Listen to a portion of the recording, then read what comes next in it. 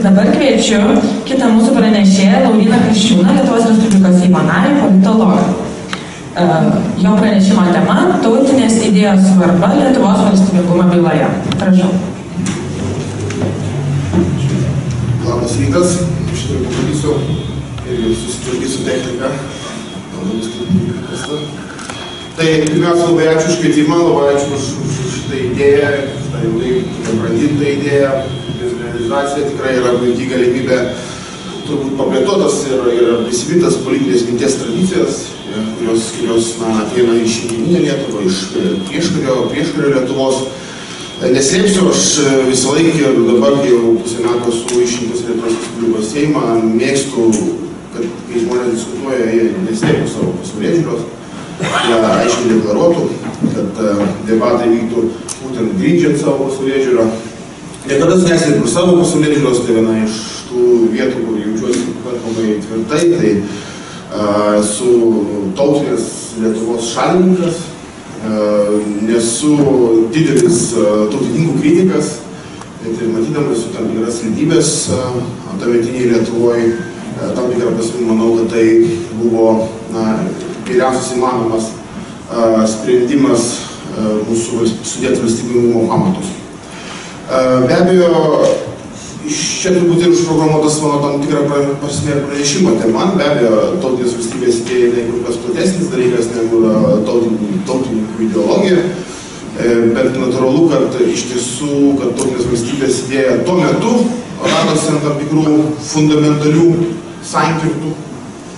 Puikiai žinote, kad tuo metu buvo na, tos vadinamos dvi valstybingumo trajektorijos galimos, vizijos, buvo kalbėta apie tą unijinę valstybę, Žešpospolitos reminiscencijas, buvo tam tikras politinis elitas, lenkiškai kalbantis, lietuviškai politiškai mąstantis, kuris plėtojo šitą idėją. Na ir atsirado naujas politinis elitas, kuris ėjo tautinės valstybės keliu ir galų galę šitą viziją nugalėjo. Ir dažnai turbūt mes pasvarstom, dar dažnai istorikų tarpe, na aš pas esu nesu istorikas, bet kad galbūt kitas kelias galėjo būti geresnis, kad uh, čia buvo tiesiog konfliktas tarp jaunų lietuvių ir senų lietuvių, čia vos tai buvo bilietinis karas ir panašiai, aš šitą dalyką, man, aš taip juos vertinu labai labai rezervuotai, bet jie rodo, kad tam tikrą prasme šitą diskusiją vis dar gyva. Ir kas yra labai svarbu, kad jinai turi atgarsį šiandienai, kur šiek tiek pasikeitė galbūt stovyklos, bet iš esmės tautinės valstybės idėja ir toliau lieka uh, labai svarbių atramos taškų. Ką aš turiu galvoj, tai turiu galvoj tada ta, tai, kad tautinė valstybė šiandien yra kolizijoje arba tam tikrom labai dileminiam santykiui su Europos integracija. Mes, jeigu tuo metu buvo unijinė valstybė, jeigu tuo metu buvo būtent šita ideologija, kuri turėjo, sakykime, konfliktą su tautinės valstybės idėja, šiandien mes turim tautinės valstybės, sakykime, tam tikrą epochą, kurie galbūt kai kas jau skelbia pabaigą kai kurie sako, kad dar skelbti pabaigą gerokai per anksti. Ir natūralu, kad, na, kaip pakaitalo, kai kas siūlo būtent įvairias Europos federacijos idėjas, Europos integracijos projektus ir taip toliau. Taigi, iš tiesų, va, tokiam va, probleminiam laukia, manau, išriškėjo esminės dabar ir uh, politinės minties tradicijos. Ir turbūt šitam va, politiniam laukia, va, tam tikrą prasme, aš ir, ir, ir pasakysiu keletą savo, savo minčių. Čia matau auditoriją ir mano dėstytojų, ir mano buvusių studentų, tai jeigu jau kažkur kažką girdėjote, atleiskit. Tai, žodžiu, ir panašiai. Tai Strupskalio idėjos man irgi na, padėjo susiformuoti labai aiškiai mano tam tikrus pasaulyje žiūrinius aspektus. Tai jeigu išgir, tikrai išgirsti savo minčių, tai neužpykit, o tik čia didžiulė pagarba jums. Taigi, iš tikrųjų, keletą tokių galbūt citatų, kad, na, nusikėlus šimtą metų atgal, mes tada perėjome į tą modernizmo epochos epochą ir akivaizdu, kad na, tuo metu vyko labai esminiai procesai, kai nacionalinės valstybės, kai, kai, kurie, kurie, kai kurie istorikai ir šiandien dar jas vertina kaip filologinius produktus, kilo, o tradicinės daugiatautės imperijos, nepaisant kai kurių bandymų jas sumoderninti, yra. Taigi 20 amžiaus pradžioje tautiniu pagrindu besiformuojanti moderni lietuvių tauta, taip socialiai buvo valstietiška, atsidūrė savotiškoje kolizijoje su tradicinė unijinė kultūra, kurią reprezentavo bajorija Tai tautiškai lenkiškas, bet politiškai lietuviškai mąstantis visuomenės elitas. Tačiau, kaip žinome, šitą koaliciją virto tarptautinių konfliktų, nes už unijinės tradicijos kultūros slėpusi evoliucionavusios tą pačią linkmę kaip ir lietuvių tauta, lenkų tautos ekspansionistiniai siekiai ir atitinkamai Lenkijos valstybės veiksmai.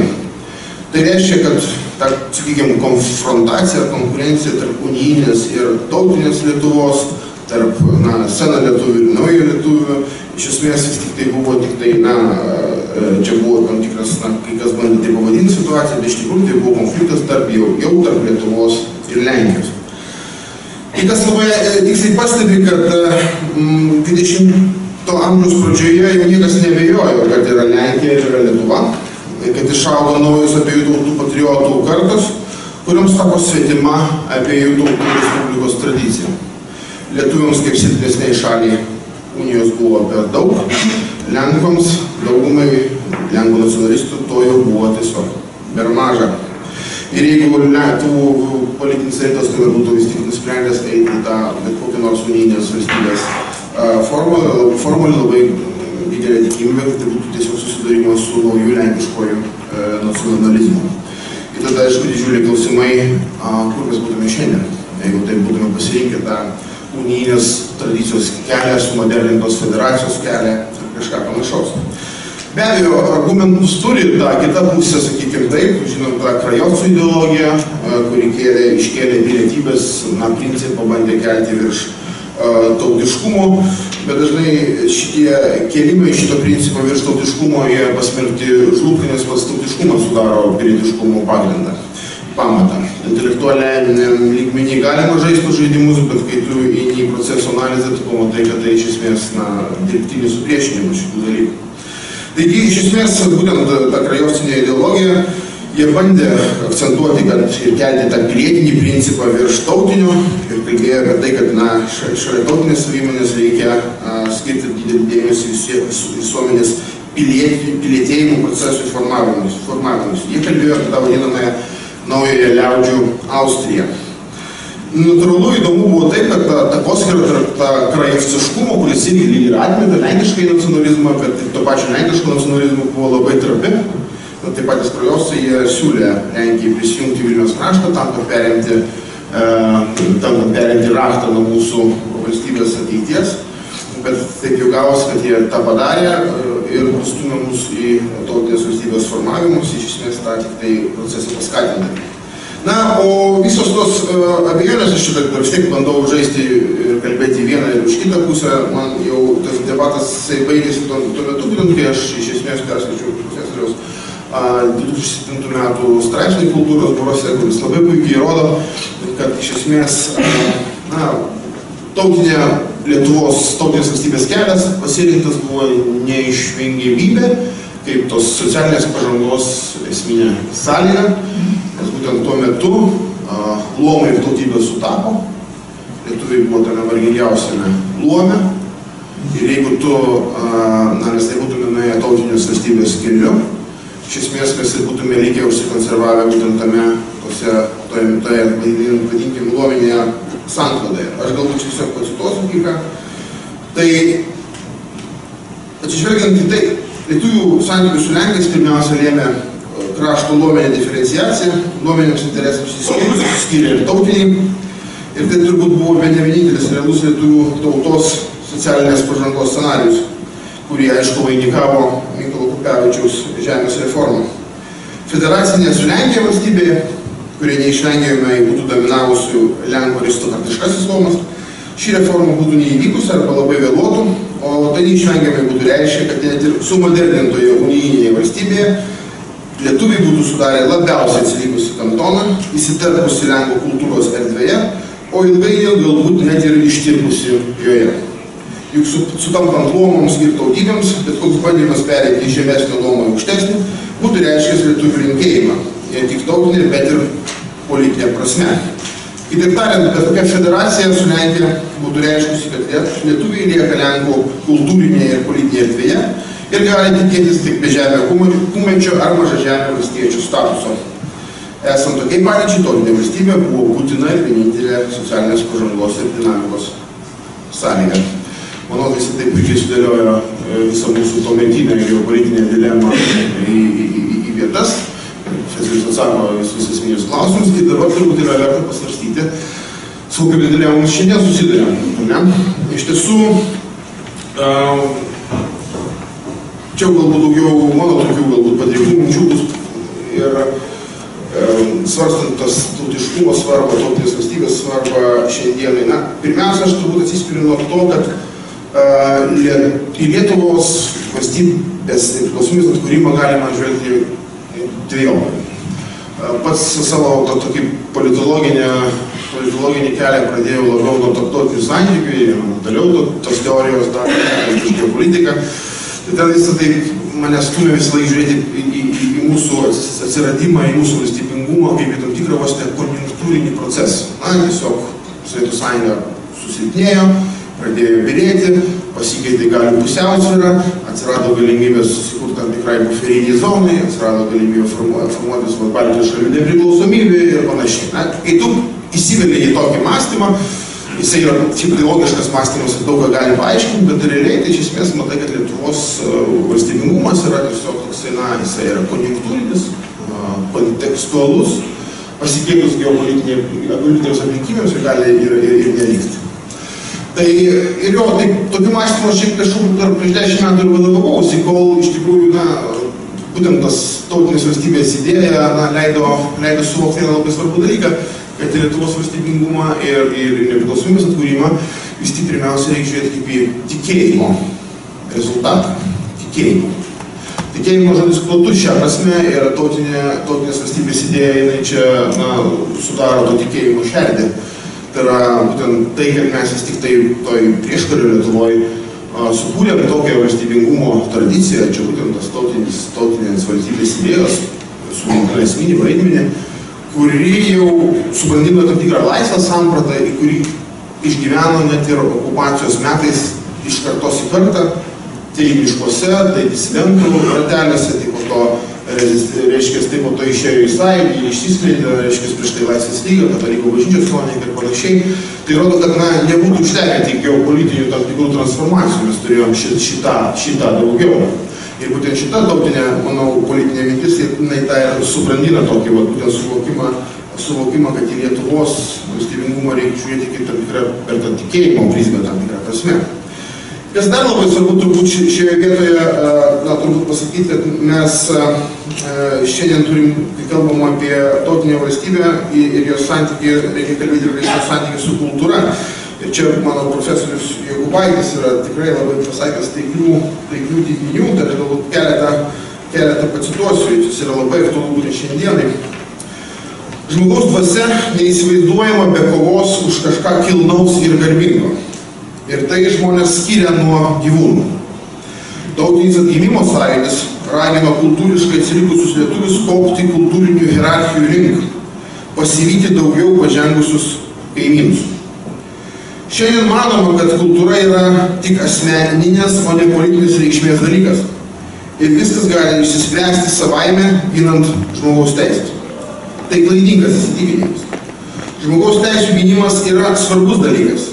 Tačiau, tačiau jeigu kultūra vis labiau artėja prie gyvuliškumo, tai nelieka skirtumo tarp žmogaus ir gyvūnų teisų gynimo. Bei nuolatinio moralinio tobulėjimo orientuotos kultūros žmogiškojo orumo idėja praranda prasme. Čia tiek apie tautiškumo, tautinės valstybės ir tautinės idėjos ir kultūros santykį. O dabar šiek tiek apie tautinės uh, valstybės ir suverenumo ir demokratijos santykį, kuris dažnai yra, na, galbūt labiau dilemiškas ir politinių oponentų būtent bandoma dažnai pasakyti, tautiškumas veda į tam tikrą kažkokį tai autoritarizmą ir autoritarinę politinę formą. Tam tikrą prasme tautinė valstybė yra kultūros ir politikos junginys kol nerandi savo kultūrinio savitumo ribų, tol negali suvokti politinio suvereniteto ribų. Čia yra turbūt labai esminis e, teiginys, bandant e, atsakyti šitą probleminį klausimą. Tautinė valstybė sukūrė pamatą stovavimą į demokratiją. Bet kuriai demokratijai reikia turėti demosą. Tai yra politinė bendruomenė. Niekas iki šiol nesugalvojo geresnio demoso formavimus šaltinė nedirbtų tautinė idėja. Ir štai čia mes atsirandam labai uh, tokioje įdomioje situacijoje. turim Europos integraciją, geopolitiškai pagristą reikalingą procesą, bet jisai turi vidinių dilemų. Dilema labai iški. Nuo pat savo pradžios Europos integracijos procesas rėmėsi antitezę nacionaliniai valstybei. Buvo manyta nuolat bėgti ir pabėgti nuo nacionalinės valstybės koncepcijos. Jeigu mes panagrinėtume visų ES, taip, institucijų vadovų pasisakymus ir dabartinius pasisakymus, akivaizdu, kad būtent šitas naratyvas yra dominuojantis. Bet paradoksas yra tame, kad e, bėgdami nuo nacionalinės valstybės nėra sugalvota, kas gali ją pakeisti. Ir štai čia yra esminė turbūt Europos integracijos dilema. Tai va, Europos integracijos eksperimentas ir yra didžiausių kolizijų būtent su, būtent su uh, nacionalinė valstybė. Robertas Šumanas, vienas iš tėvų įkūrėjų, savo raštuose, kitaip nei jo kolega Žanas Monė yra pasakęs, kad Europos integracija reikia ne tik kūno, tai yra institucijų, bet ir sielos. O dažnai, ką mes matome dabartinėme procese, viskas vyksta daugiau per technologinį, techninį, institucinį e, stiprinimą, o ne, nėra atsakymą į klausimą, kas yra Europos tapatybė, kas yra ta europietiška siela. Ar ta siela gali na, sukurti tam tikrą politinę bendruomenę, kuri iš, iš principo tam tikros legitimuoja pačias Europos institucijas. Ir šičia atsakymai yra labai labai silpni. Ir ponas Habermasas kuris pirmas pabandė konceptualiai mesti iššūkį nacionalinės valstybės ir demokratinio valdymo sintezai, pats pripažindamas, kad tai yra iš tikrųjų demokratinis valdymas yra įmanomas tik tada, kai atsiranda savęs tam tikras kolektyvinės apibrėžimas, kas esame mes. Jis pabandė pasiūlyti tą konstitucinio patriotizmo sampratą, ne tai įsipareigojimą taisyklėms, ne kažkokia istorijai, bet taisyklėms. Bet ir tas jo konceptas pasirodė per silpnas ir negalintis mesti iššūkio, negalintis, na, tam tikrą prasme, intelektualiai įveikti būtent tos demokratijos, stovimosios demokratijos ir tautinės valstybės santykių. Ir vėlgi čia turbūt verta būtų paminėti uh, vieną citatą profesorius Jukubaičio. Europos Sąjunga kol kas nėra nei tauta, nei valstybė. Liūdniausia būtų, jeigu Sąjungos projektus žlugtų įgyvendinimo pusiaukelėje, kai dar nesukurta Europos tautų sąjunga bet sugriauta senoji tautinė valstybė. Europos Sąjungos tautoms ši eksperimentinė politinė organizacija yra žaidimas su degtukais benzino stotelėje. Jeigu kas nors stipriai nepavyktų, jos iškart pajustų kitų civilizacijų jėgą. Tai jau būtų kova ne dėl kultūrinės, bet dėl civilizacinės priklausomybės. Dar visai pabaigai, bandant na, ieškoti tam tikrų prasme argumentų, kodėl tautinės valstybės idėja e, yra be galo svarbi šiandien. Ta turbūt įrodė Ukrainos visa tragedija, aišku, pirmiausia, turbūt reikia sakyti Rusijos agresija Ukrainoje. Tautiškumas tam tikrą prasme yra savotiška jungtis, kuri jungia mus dar su 20-ojo amžiumi ir su tom paradigmom, kuriomis vadovaujasi mūsų rytų kaimynai, tie vadinamieji, na, tas vadinamasis stepė vilkologis, kuris kandžioja savo kaiminėje šalis nuolat, kai tik atsiranda galimybė. Vakarų Europą gyvena istorijos pabaigos paradigmai. Fukujamiškoj tokioj, kad konfliktai įsibaigė, jų nėra. Mes dabar turim rūpintis pas materialiais dalykais, įsipareigoti būtent žmogaus teisėm, gyvūnų teisėm, mažumų aspektą ir visą kitą. Ir tada vienas stepo vilkologis ir paima šalia ir, ir pradeda kandžioti kažkurią tai iš Europos valstybių. Ir tada vieninteliai pirmieji, kurie, ką parodė Ukrainos atvejais, stojo į kovą su šito vilkologiu, buvo Ukrainos nacionalistai. Ir aš vis nepaliauju cituoti, bet aš turiu pacituoti ponios Appelbaum, tai yra Radislavos Sikorskio, nu, liūdna, kaip pagarsėjusio Lenkijos užsienio reikalų ministro, bent jau mūsų istorijai, šiuolaikiniai istorijai žodžius, kaip jinai aprašo savo straipsnį, kurio pavadinimas yra toks, kodėl Ukrainai reikia nacionalizmo. Donetskas, Slovenskas, Kramatovskas, čia dar buvo, taigi jie buvo okupuoti. Yra pavyzdžiai to, kaip atrodo žemė be nacionalizmo. korumpuota, anarchiška, pilna parsiduoti pasirengusių samdinių. Tie gaukėti vyrai, kurie puldinėja Ukrainos valstybinės institucijos vadovaujami rusų vadų, dažniausiai nėra nacionalistai. Jie yra žmonės, kurie vykdytų kiekvienos politinės jėgos, kuri geriausiai užmokėtų ir daugiausiai pažadėtų nurodymus. Ir nors šie vyrai yra tik smulki mažuma, daug- dauguma jiems nesipriešina. Priešingai, dauguma stebi kovą pasyviai ir yra pasirengę susitaikyti su bet kuria valdžia, kokia, kokią jie tik gaus. Tai yra žmonės atsitiktinai apsigyvenę ten, kur gyvena kurių tėvai ir seneliai ten atvyko dėl sovietinių biurokratų įgydžio, kurie nejaučia prieraišumo jokiai tautai ir valstybei. Taigi neklausy nacionalistų, kuriuos mes veikiausiai galime sutarti vadinti patriotais, grupė Ukrainoje yra vienintelė viltis, kad šalis išsikapstys iš apatijos, europoniškos korupcijos ir galiausiai padalymo. Tai nes XIX amžiuje ne vienas nuovokus kovotojas už laisvę nebūtų įsivaizdavęs, kad galima sukurti modernę valstybę, jau nekalbant apie demokratiją, be kokio nors už viso to vykstančio nacionalistinio judėjimo. Tai iš turbūt sustos. Ačiū.